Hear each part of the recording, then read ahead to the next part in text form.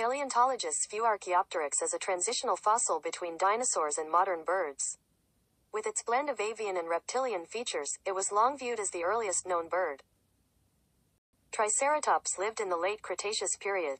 The Triceratops is one of the most easily recognizable dinosaurs due to its large body, unique frill and three horns.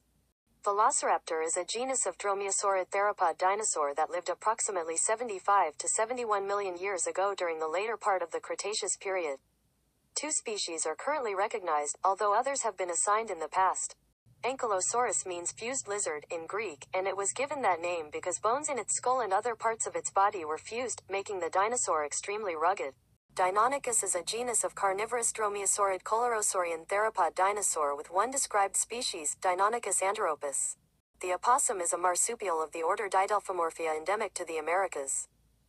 Pteranodon was a flying reptile that lived during the time of the dinosaurs. It was not a dinosaur, but was a close relative of the dinosaurs. Pteranodon's wingspan is longer than that of any known bird. It had a crest on its head, no teeth at all, and a very short tail. Tyrannosaurus rex was one of the largest meat-eating dinosaurs that ever lived. Everything about this ferocious predator, from its thick, heavy skull to its four-foot-long jaw, was designed for maximum bone-crushing action. Hadrosaurus is a valid genus of hadrosaurid dinosaur that lived in North America during the late Cretaceous period. Any of a genus, Oviraptor, of bipedal theropod dinosaurs of the late Cretaceous having a toothless muscular jaw, clawed finger and toes, and a crested skull and that are thought to have exhibited brooding behavior.